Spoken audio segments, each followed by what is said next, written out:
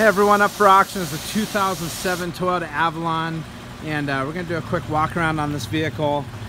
And uh, but as you can see we're going to go around and uh, this vehicle is in really great shape. It's uh, there's really nothing wrong with it.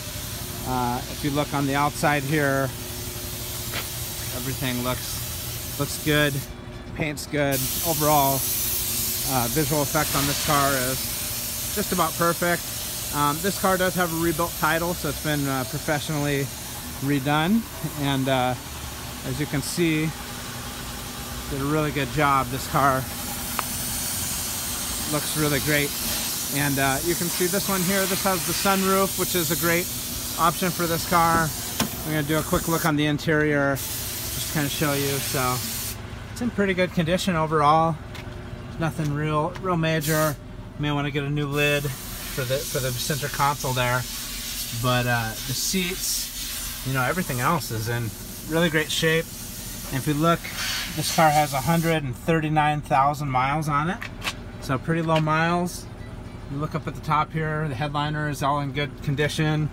Nothing's fallen down. And uh, this car is, is smogged and ready to go. So all you gotta do is just come pick it up, drive it away, it's ready for new owner see. Overall it's in pretty nice condition so so good luck to everyone. This is the uh, the Avalon and uh, this is the the touring edition. So this car will go to the highest highest bidder uh, once the reserve is met. That's on motobucks.com or you can download the app for Android or iPhone iPhone. Good luck everyone